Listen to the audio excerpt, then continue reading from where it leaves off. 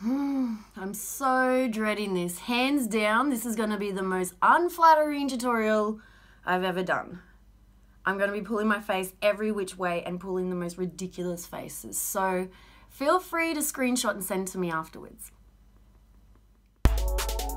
Using Graftobian rubber mask grease wheel and the smallest tip brush I can find, I start to move my face in every which way possible to form wrinkles. I start to trace the wrinkles using one of the darker colours on the wheel. This is easy because I'm old. Well, I'm older than I look anyway. Adding some old lady moles on there, some frown lines, and now I look like my mum.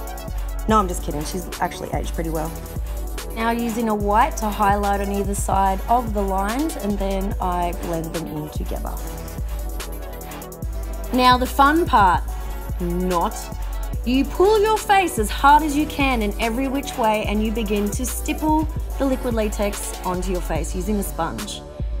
This procedure can take a while, so I fast track it by using a blow dryer to dry it. I usually add about two layers of this to get the real effect of gross wrinkles.